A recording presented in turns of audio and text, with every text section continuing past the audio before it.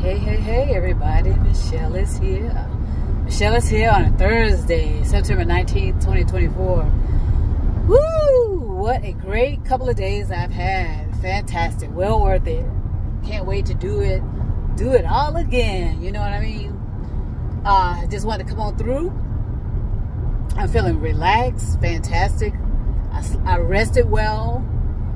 Uh, you know, it, it just felt good to step out a little bit, socialize, and you know, get get my face into place for people to um, become familiar with seeing me, and you know, um, listening to my uh,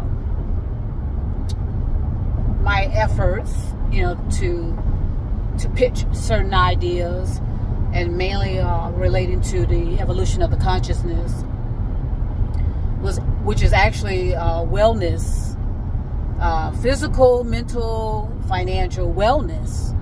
At the end of the day, so it was well worth it. I I do not know what's going to happen, but I know what's important is to just move forward. You know, take risk. You know, uh, put yourself out there, see what happens. You know, to expect anything more than that when you don't put in the efforts it's kind of delusional.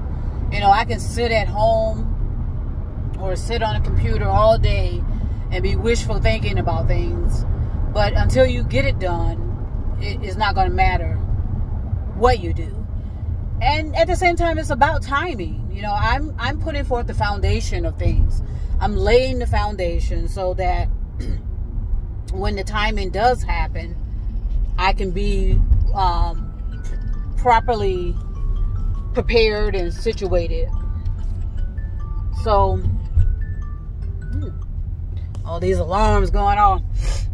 So I feel good, and I'm very thankful uh, to be allow myself to kind of step out of my comfort zone and do things I have no idea what I'm doing.